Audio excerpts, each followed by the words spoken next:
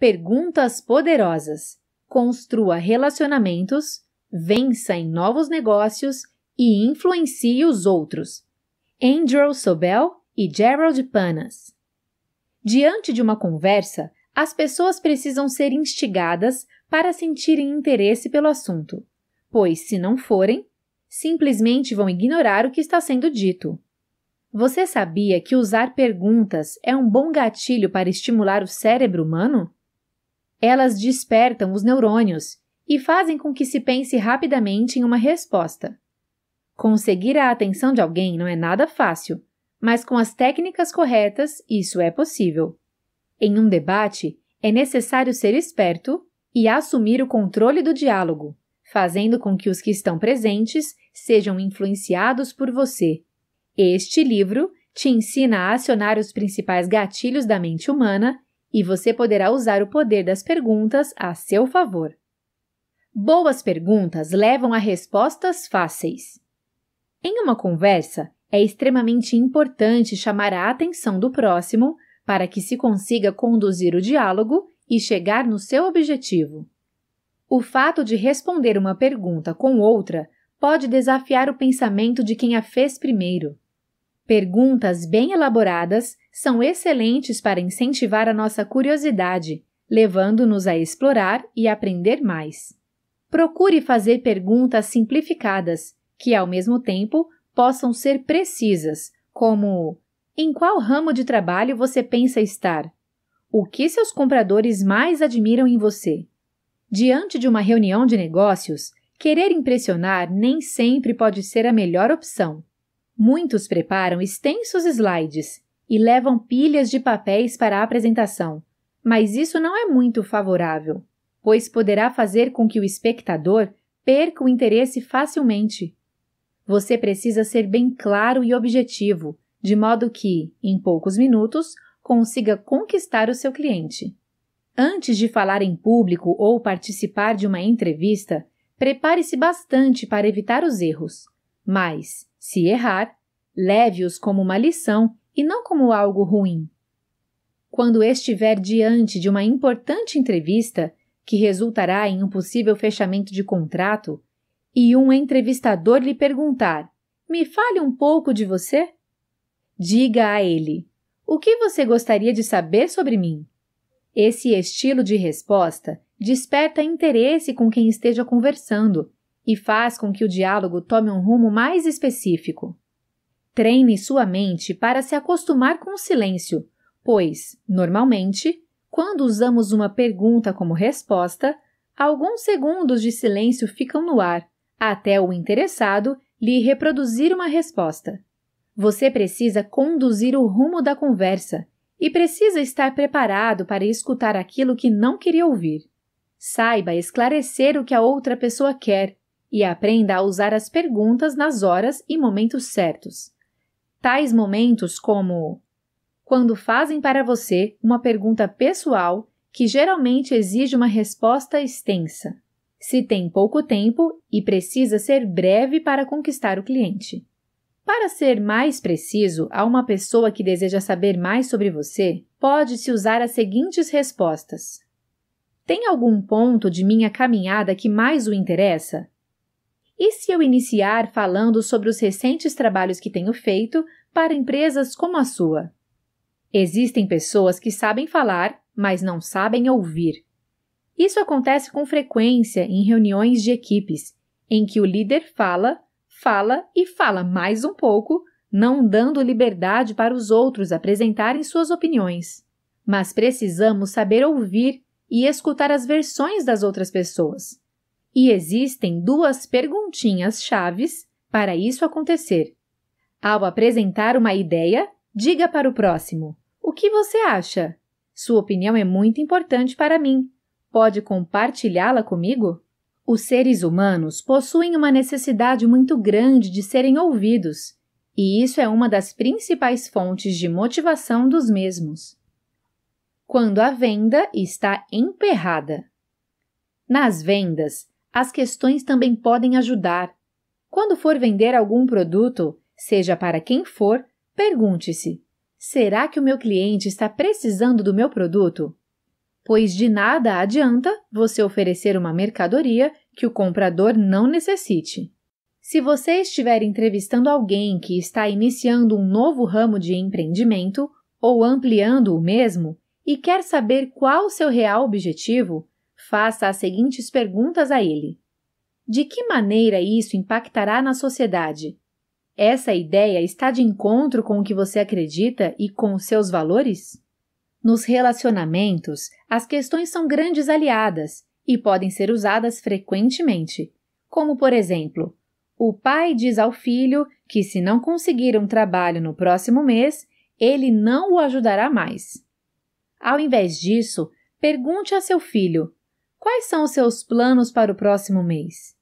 Me importo com você e preciso saber como está a sua busca por emprego? Esse estilo de pergunta é muito poderosa, pois constrói relacionamentos em vez de destruí-los. Ela faz com que a pessoa pense e se aprofunde na conversa. Comece do começo.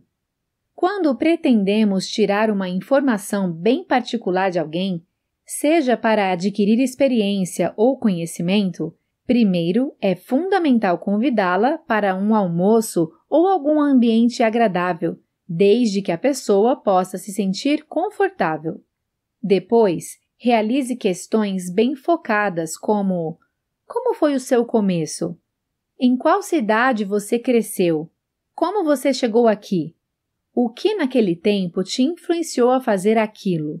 É claro que nem sempre acertamos, então, quando fizer uma pergunta errada, recomece a mesma de forma espontânea. Reconheça o seu erro e seja transparente, dizendo: Você se importa se recomeçarmos? Quando estiver tentando entender a função de alguém, seja na vida profissional quanto pessoal, pergunte: Por que faz isso? Qual a sua fonte de inspiração?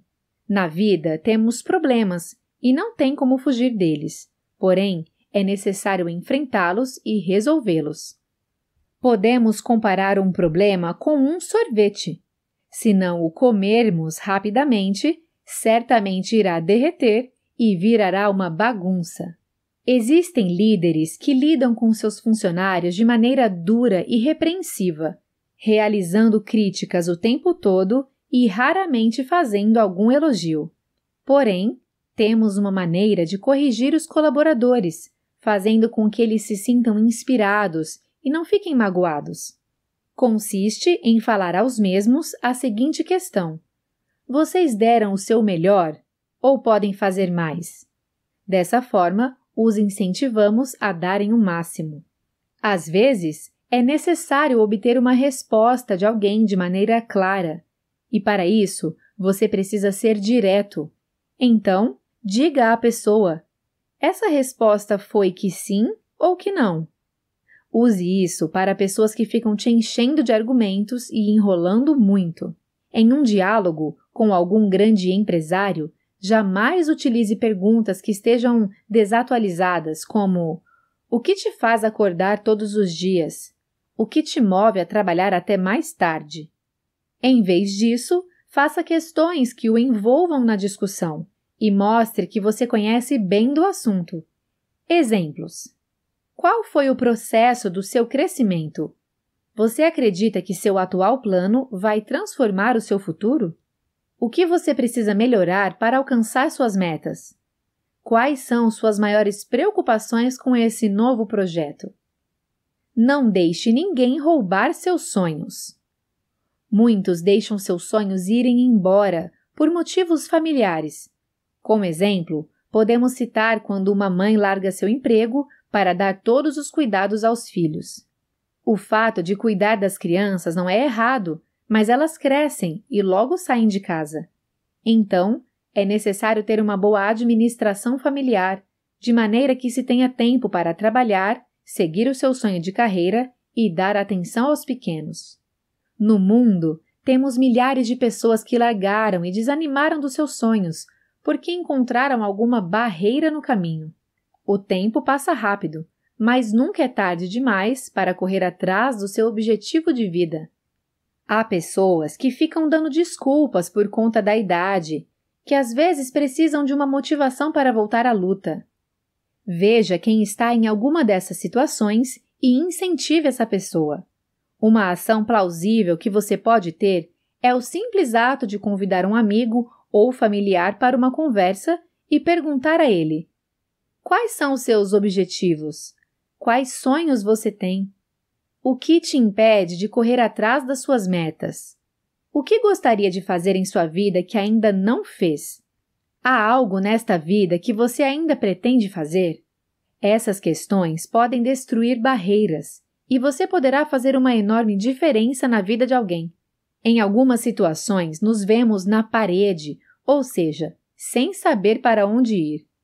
Normalmente, isso acontece quando temos dois caminhos e precisamos decidir qual seguir. Mas existe uma pergunta-chave que pode nos ajudar. O que a minha intuição está dizendo? Ela pode te fazer refletir e seguir o seu coração. Para chegar bem no íntimo de uma pessoa e saber alguns segredos, faça questionamentos bem direcionados, tais como: Você lembra qual foi a pergunta mais complexa que o fizeram na vida? Alguém já fez uma pergunta que o deixou constrangido? Teve situações em sua vida que fez você se sentir incapaz? Essas podem fazer o entrevistado parar, pensar e resgatar pensamentos passados que de alguma forma mexeram com ele. Pedir uma avaliação de você mesmo para as pessoas ao seu redor pode te ajudar a identificar em quais pontos se deve melhorar. Pergunte a elas: como você me enxerga como amigo e o que tem a me dizer sobre meu trabalho? Sempre que quiser construir uma relação mais profunda com alguém ou buscar informações sobre algum acontecimento que fez alterar o caráter de uma pessoa, use estes exemplos.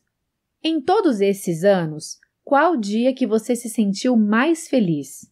O que realmente te trouxe mais alegria? O que já aconteceu que marcou muito você? Qual foi a sua maior conquista? Os seus planos ou o deles? Em uma apresentação de projetos, é comum as pessoas iniciarem falando sobre seus planos antes do cliente, mas isso pode fazer com que ele sinta desinteresse no que está sendo proposto. Para evitar este acontecimento, é preciso, antes de tudo, que você seja um bom ouvinte. Com isso, é fundamental que três princípios sejam seguidos. Número 1. Um, humildade. Você precisa ser humilde e deixar o outro expor suas ideias, pois poderá aprender com o que ele tem a dizer. Número 2. Curiosidade. Trate cada situação demonstrando um grande sentimento de curiosidade. Faça diversas perguntas e ouça mais. Número 3. Autoconsciência. Tenha conhecimento sobre si mesmo e saiba até onde pode chegar. Diante disso, quando iniciar a apresentação, já comece perguntando: Gostaria de saber sobre os seus planos. Pode me dizer quais são? Como pretende estar daqui a alguns anos? Pode nos apresentar suas ideias? Como você quer começar isso? Temos também algumas perguntas bem fechadas e duras, porém, elas devem ser ditas no momento certo. Como, por exemplo, quando um amigo rouba seu dinheiro sendo que ele era de confiança e vocês já se conheciam há anos. Nessa situação, se for interrogá-lo para que o mesmo confesse o crime, com um tom de voz mais firme, fale a ele. Quero que você me responda se sim ou se não, sem ladainhas. Seja verdadeiro. Você roubou o dinheiro? Sim ou não? E se ele confessar antes de tomar alguma decisão para o punir, Coloque-se no lugar dele e pense: como eu gostaria de ser tratado se fosse a situação inversa? Somente depois disso, tome as devidas providências. Sempre fiel. Tomar decisões é algo extremamente delicado, pois uma atitude errada pode levar tudo a perder. Quando for participar de um debate empresarial sobre qual será o próximo planejamento que será posto em prática, Antes de iniciar, questione: qual é a nossa prioridade? E após a reunião, diga: qual foi a direção que tomamos hoje. Isso ajuda a escolher o melhor caminho e a rever as decisões tomadas. Às vezes, encontramos pessoas muito teóricas que ficam se enchendo de argumentos e não deixam claro o que querem. Nessa situação, encurte o caminho e vá rapidamente em direção ao interesse dela.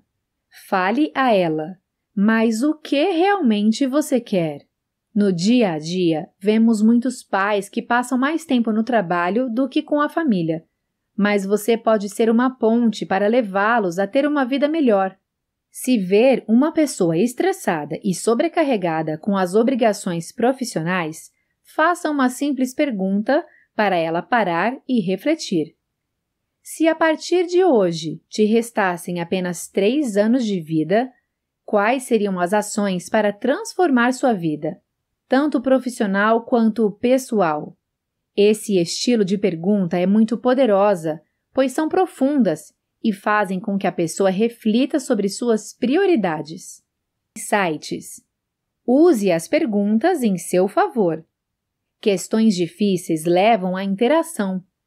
Escolha o momento e a hora certa. Ser firme não é faltar com a educação. Pense antes de falar. Mostre menos e faça mais. Fale menos e ouça mais. O trabalho é para viver e não viver para trabalhar.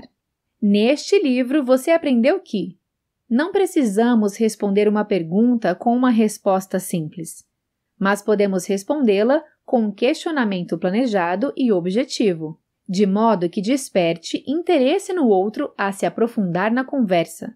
O poder das perguntas está relacionado com o jeito de fazê-las pois elas precisam ser focadas e efetuadas na hora certa. Podemos mudar o pensamento de alguém com uma questão bem profunda, pois ela faz com que a pessoa reflita bastante e a estimula a tomar decisões diferentes. As pessoas sentem necessidade de serem ouvidas, então as estimule e deixe-as falar. Demonstre interesse no que elas dizem e sempre esteja pronto para escutar. É fundamental que um líder peça a opinião de sua equipe sobre seu trabalho, pois só assim é possível identificar os pontos em que precisa melhorar e consegue uma boa interação com seus subordinados. Existem pessoas que deixaram suas metas de lado por alguma adversidade da vida e que precisam ser incentivadas a retomá-las. O trabalho é fundamental, mas em excesso é prejudicial. Temos que avaliar quais são nossas prioridades de vida, pois o futuro nunca é tarde demais para mudar.